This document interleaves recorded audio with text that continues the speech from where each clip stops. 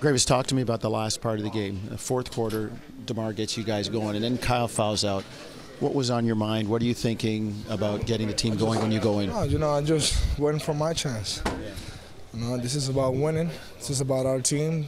Uh, and you know, my name was called again. And I'm just trying to be ready and do my job. And uh, we got a ugly win too. We, we, we gotta we gotta play a little bit better the last two games. We got the win, but we gotta play better. This is a ties a franchise high for wins in a season, and that's something that.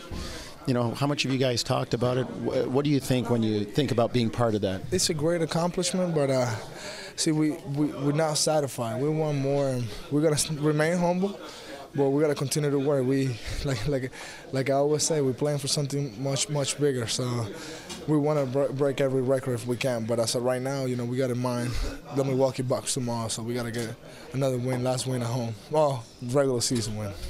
Talk to me about Demar's play at the start of the fourth quarter. He's, he's, he's an all-star. You know, we got two all-stars.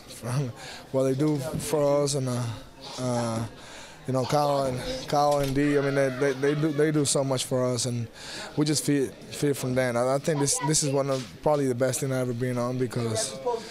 You know the way we, we play together and the way we do things together on and off the court. So that's that's that's one of the main reasons we're winning. Thanks, man.